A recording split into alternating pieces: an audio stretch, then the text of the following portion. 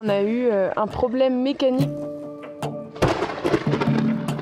J'ai zéro force, je peux même pas ouvrir les yeux. L'hôpital dit qu'on est à un endroit où les routes sont trop compliquées pour venir. Le rêve se transforme en cauchemar. Eh ben ça commence bien. Ça va être folklorique.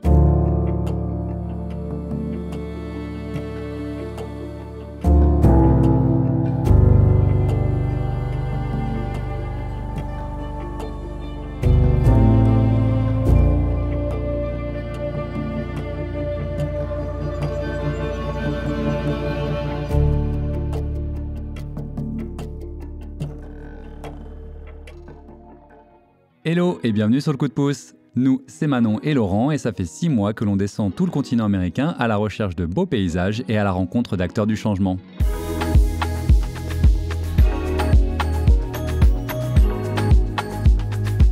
Après pas mal de vadrouilles, on est arrivé en Bolivie, le pays qui, on va le dire, fut le pire voyage de notre vie. C'est triste à dire vraiment car ces paysages sont magnifiques, époustouflants, merveilleux.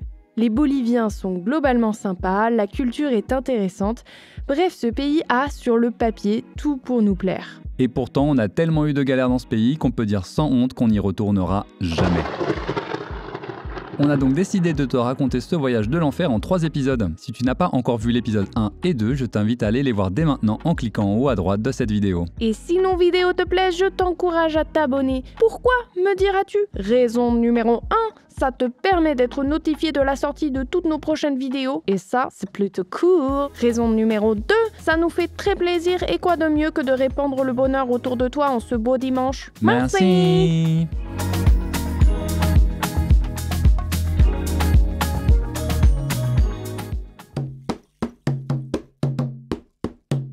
Dans l'épisode précédent, nous avons parcouru la jungle pendant 5 jours. Après ce périple intense qui s'est globalement bien passé, on prend un bus de nuit pour revenir à La Paz. Et là, c'est le drame. Oui, je sais, cet épisode n'a même pas commencé qu'on vous parle déjà d'une galère.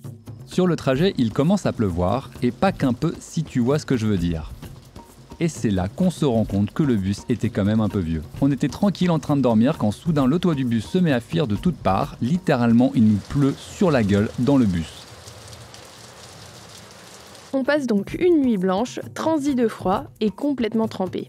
Je t'avoue que dans ces moments-là, le mental flanche un peu.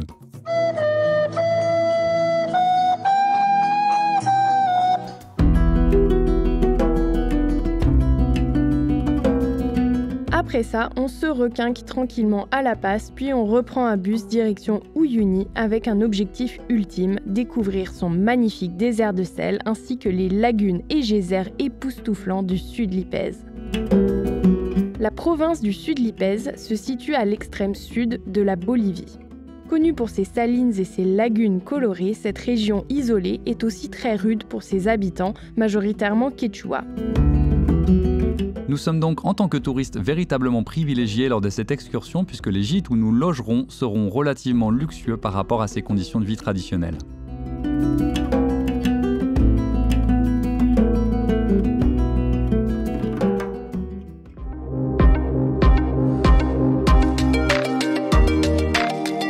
Nous partons donc pour trois jours d'excursion et rencontrons les quatre autres personnes ainsi que le guide avec qui nous allons partager ces moments. On vous présente donc Scott, Murphy, Marine et Johan. On commence notre excursion par l'exploration du sud Lipez.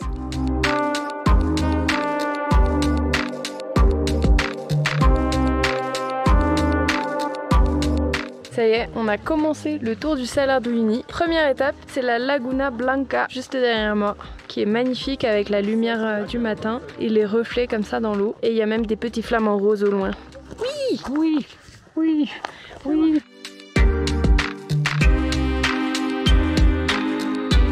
Juste à côté, on découvre également la belle Laguna Verde,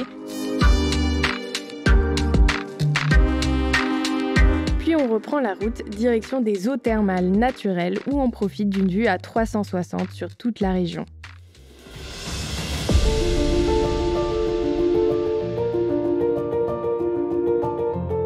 On s'enfonce ensuite dans des terres plus sèches pour atteindre le fameux désert de Dali. Il doit son appellation à ses crêtes montagneuses arides et à ses vastes étendues de sable parsemées de rochers isolés qui évoquent curieusement les paysages que le peintre Salvatore Dali a fait figurer en arrière-plan d'un grand nombre de ses compositions.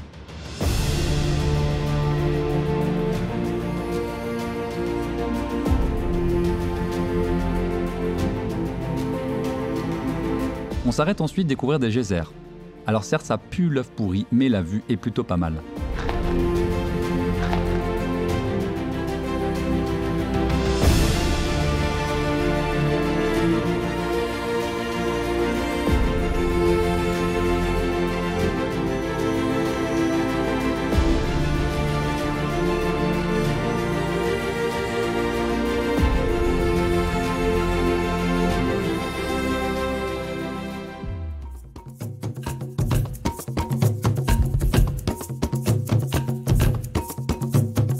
Alors qu'on prenait la direction de notre dernier stop, la fameuse Laguna Colorada, une énorme tempête de grêle s'abat sur nous.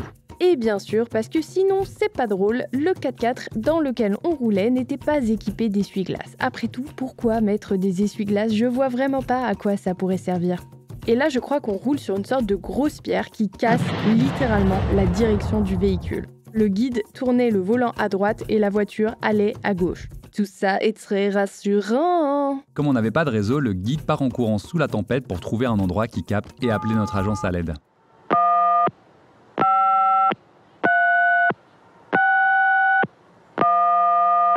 Service après-vente, bonjour L'agence lui répond donc Ne vous inquiétez pas, monsieur, nous vous envoyons un véhicule de rechange dans les plus brefs délais.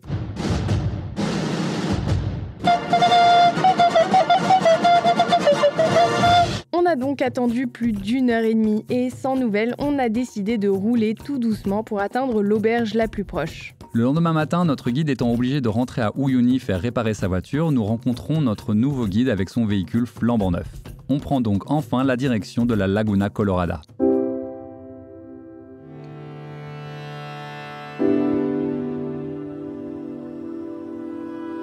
Alors là, on est au dernier stop qu'on aurait dû faire hier, mais comme vous avez pu le voir, on a eu euh, un problème mécanique. On est à la Laguna Colorada. Grâce à la panne mécanique, on arrive euh, ici assez tôt le matin, la lumière est magnifique et il n'y a personne. Donc pour une fois qu'une panne mécanique, c'est à notre avantage, on prend. Alors ici, il y a trois espèces de flamants roses différentes qui cohabitent ensemble mais qui ne copulent pas ensemble. On arrive juste avant la saison d'éclosion des petits bébés flamants roses puisque ça arrive environ mi-février. Et donc là, on voit les flamants roses qui couvent leurs œufs qui sont en fait dans l'eau. Donc c'est magnifique.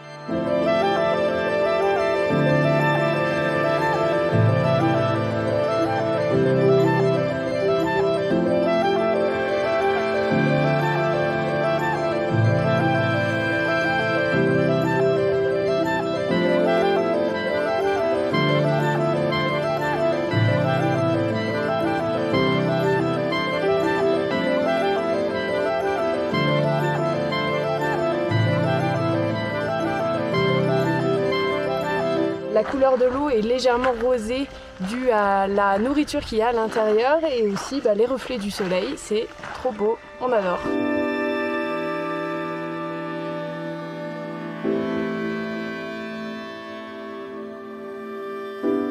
Vous étiez encore Je croyais que vous étiez parti. Ah bon?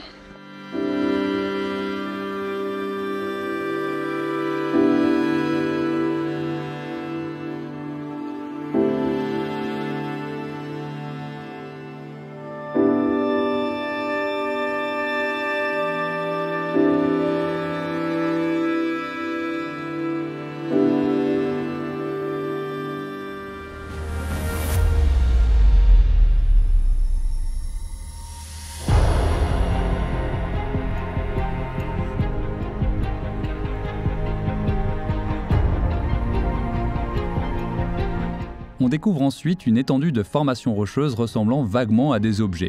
Ça, par exemple, c'est la Coupe du Monde, et ça, c'est un cœur. Bon, bah voilà.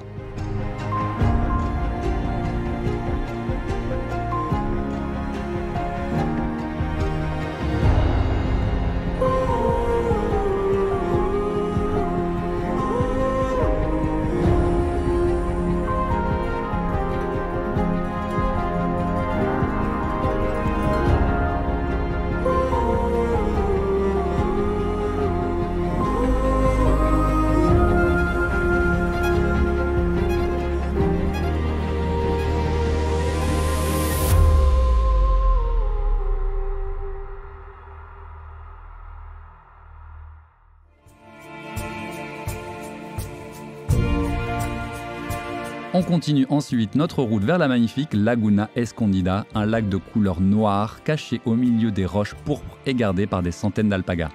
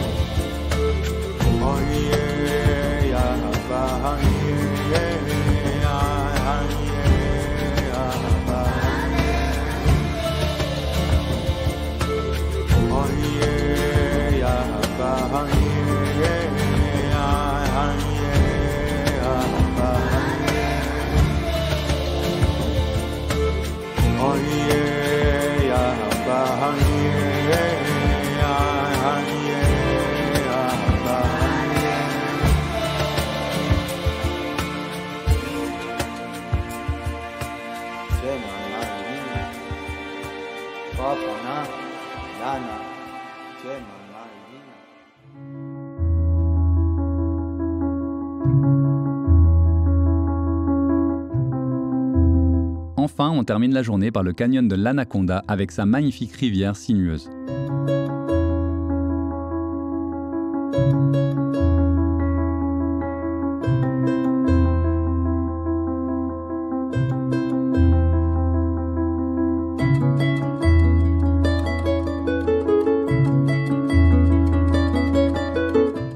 Notre route jusqu'à un hôtel de sel luxueux. Bonsoir. Ceci est du sel. Savez-vous pourquoi? Nous sommes dans un hôtel de sel. Si jamais les plats sont fades dans ce restaurant, pas d'inquiétude. Il suffit de les saler un peu. Du bon sel. Demain, on se lève à 4h40 pour découvrir le lever de soleil sur le mythique Salar d'Uyuni. Autant vous dire qu'on a hâte et qu'on s'endort le plus tôt possible pour être en forme le lendemain. Est-ce que tu la sens venir la petite douille là? Et là, c'est le drame. Ce matin, on était censé se lever au lever de soleil à 4h30 du matin. Seul problème, quand on s'est levé, tous les garçons du groupe, y compris le guide, étaient tous hyper malades, en mode chiasse et vomi. Du coup, on n'est pas parti et à 8h, c'était pire. Tous les garçons là sont au lit. Ils ont vachement de fièvre. On a demandé s'ils pouvaient faire venir un médecin. On a appelé l'hôpital. L'hôpital dit qu'on est à un endroit où les routes sont trop compliquées pour venir. C'est assez courant de choper des twistas en Bolivie, mais c'est plus rare quand c'est le guide qui est malade. Que lui, normalement, il a l'habitude de bouffer de la bouffe bolivienne pleine de microbes, on va dire.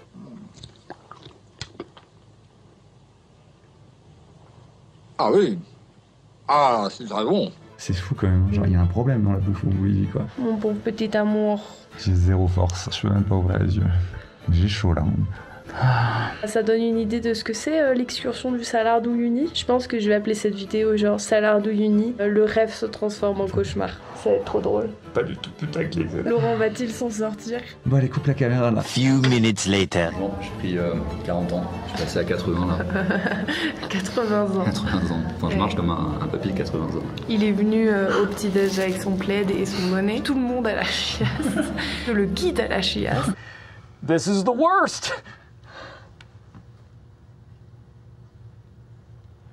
Ça devient de pire en pire. Notre guide attend d'aller mieux pour nous conduire à l'hôpital. Je sais pas trop ce qu'on va faire. Et euh, si vous vouliez euh, nous envoyer des dons, hein, le, le numéro c'est 3637. C'est comme le téléthon, c'est pareil, on en a besoin. Voilà.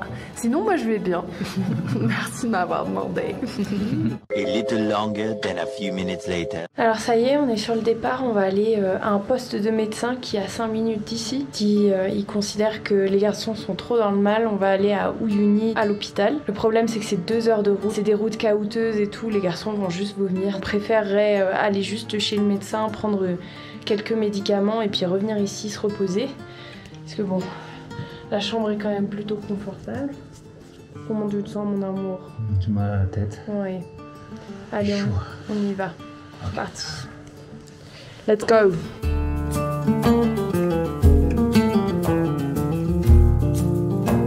Prend donc la direction de cette petite clinique perdue au milieu de nulle part. Ils prescrivent pas mal de médocs à tous les malades pour faire baisser la fièvre, combattre l'infection et des perfusions pour les réhydrater car ils étaient tous très faibles. On passe le reste de la journée à se reposer. Laurent dort littéralement toute la journée puis toute la nuit qui suit. Et la bonne nouvelle, c'est que le lendemain, on a suffisamment récupéré pour aller observer le lever de soleil sur le Salar d'Uyuni. La mauvaise nouvelle, c'est que notre guide est lui encore en grosse PLS et que du coup, on doit l'abandonner et un autre guide va nous emmener au Salar d'Uyuni. Je vous rassure, on a eu des nouvelles du guide, il est mort, non, il est en vie, pardon, et il va mieux.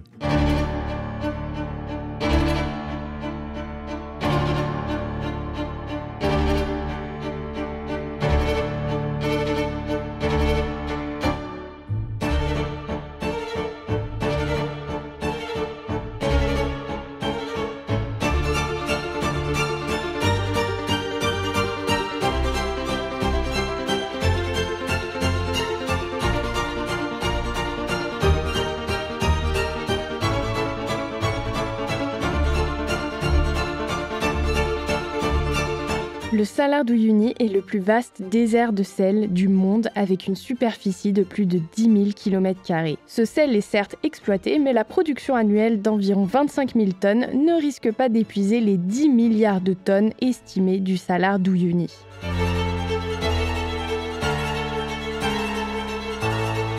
Hello et bienvenue sur le Salar d'Uyuni. Ça y est, enfin on y est. On s'est levé à 4h30 ce matin. Tout est dégagé, donc c'est trop cool, c'est trop beau. Du sel à perte de vue comme ça, là, c'est- c'est génial. Et on vous emmène pour le reste de la visite. Allez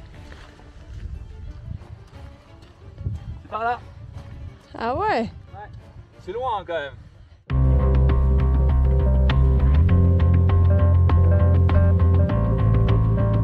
Ce lieu est aujourd'hui en danger car il suscite les convoitises du gouvernement, mais aussi de nombreuses multinationales qui voudraient exploiter sa réserve de lithium, composant essentiel des batteries électriques. En effet, ce lieu rassemble la moitié des réserves de lithium exploitables de la planète.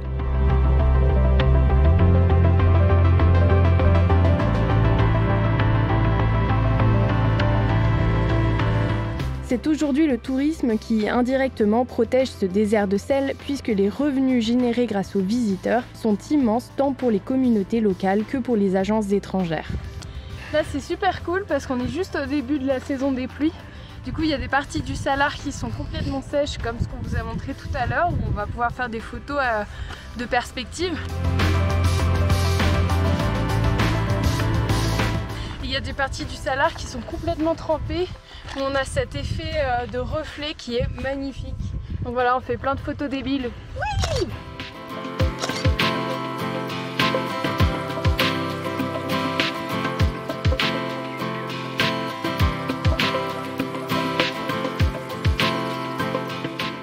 Vas-y, ça va aller sur ta gauche là Ah On découvre également une île de cactus au milieu de ce désert, phénomène naturel surprenant et envoûtant.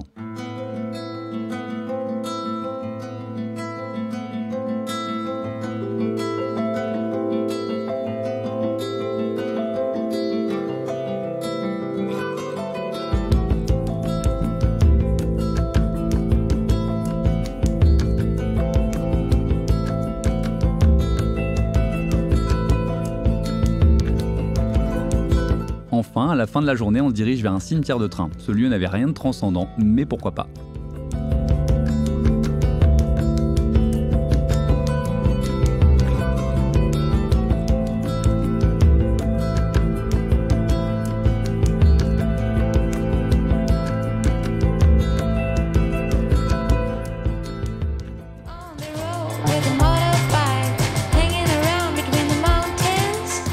Voilà, notre séjour en Bolivie se termine. Après ce périple à la fois magnifique et galère, je t'avoue qu'on a eu un petit coup de mou et qu'on s'est même demandé si on voulait continuer le voyage. What do you mean it's forever? La réponse était assez évidente. On veut continuer, mais plus de cette manière. On n'en peut plus de faire nos sacs tous les trois jours, d'enchaîner les bus, les navettes et les tuk-tuk. Dimanche prochain, on te fait donc une grande annonce qui va complètement bouleverser notre voyage. Petit indice, ça a peut-être un lien, peut-être un, c'est pas sûr, avec la van life. Donc abonne-toi pour découvrir tout ça dans nos prochaines vidéos. À bisous, à bientôt